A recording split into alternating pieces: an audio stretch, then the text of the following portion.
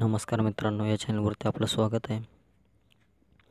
मित्रांनो तुम्ही पहिल्यांदाच या चॅनलवर आला असाल तर या चॅनलला सबस्क्राईब करा आणि बेल आयकॉनवर क्लिक करा म्हणजे नवीन व्हिडिओ तुम्हाला लगेच मिळेल. मित्रांनो आपण तीस क्वेश्चन बघितले होते आरोग्य विभागाच्या दोन हजार सतराच्या पाठीमागच्या क्वेश्चन पेपरचे आता राहिलेले क्वेश्चन आपण या व्हिडिओमध्ये बघूया. जास्त वेळ न घालवता आपण व्हिडिओला स्टार्ट करूया. पहिला प्रश्न बघा त्यातला बघा. मॅथ्सचा क्वेश्चन आहे. एका सांकेतिक भाषेत स्टँड हा शब्द F G N A Q असा लिहिला. तर त्याच पद्धतीने ट्रॉली हा शब्द कसा लिहाल? तर मित्रांनो त्याचं उत्तर आहे ऑप्शन बी. पुढचा प्रश्न घ्या. खालील आकृतीत त्रिकोणाची जास्तीत जास्त संख्या किती आहे? म्हणजे खालील जे आकृती दिली आहे त्याच्यामध्ये अनेक त्रिकोण आहेत. तर त्याच्यामध्ये जास्तीत जास्त किती त्रिकोण आहेत? तर त्याच्यामध्ये सोळा त्रिकोण आहेत. ऑप्शन डी बरोबर ऑप्शन आहे. पुढचा प्रश्न बघा.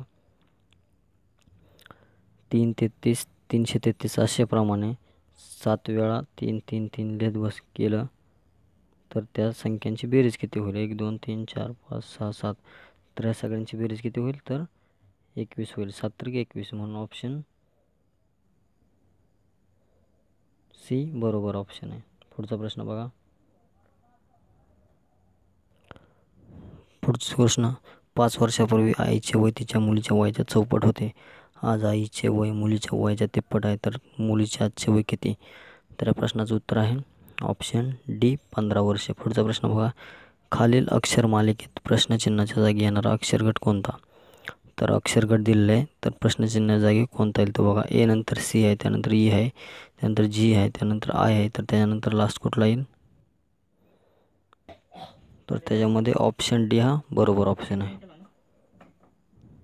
पुढचा प्रश्न बघा. घर या शब्दाला समानार्थी नसलेला शब्द ओळखा. घर या शब्दाला समानार्थी नसलेला ओळखायचा आपल्याला तर प्रसाद सदन गेह गृह. सदन गेह आणि गृह हा समानार्थी शब्द आहे आणि प्रसाद हा वेगळा शब्द आहे त्याला. म्हणून ऑप्शन आहे बरोबर ऑप्शन आहे पुढचा प्रश्न बघा. खालीलपैकी निश्चितपणे अनेकवचनी शब्द कोणता? शाळा मळा कळा गोळा. तर त्याच्यामध्ये निश्चितपणे आपल्याला अनेकवचनी शब्द पाहिजे तर तो आहे गोळा.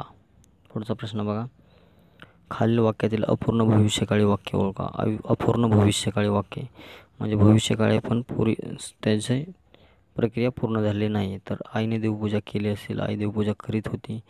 आई देवपूजा करीत असेल आई देवपूजा करीत आहे. तर याच्यामध्ये आपल्याला ऑप्शन सी हे बरोबर ऑप्शन आहे.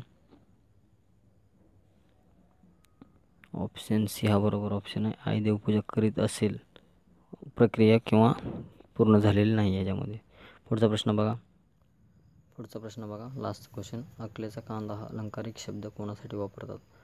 तर ह्याचा ऑप्शन बी हा बरोबर आन्सर आहे. अतिशय मूर्ख माणसाठी आपण अकलेचा कांदा हा अलंकारिक शब्द वापरतो. मित्रांनो हे व्हिडिओ पूर्ण बघितल्याबद्दल धन्यवाद. व्हिडिओला लाईक करा शेअर करा आणि कमेंट करायला विसरू नका. त्याचप्रमाणे आपल्या चॅनलला सबस्क्राईब करा. त्यामुळे तुम्हाला नवीन व्हिडिओ लगेच मिळतील.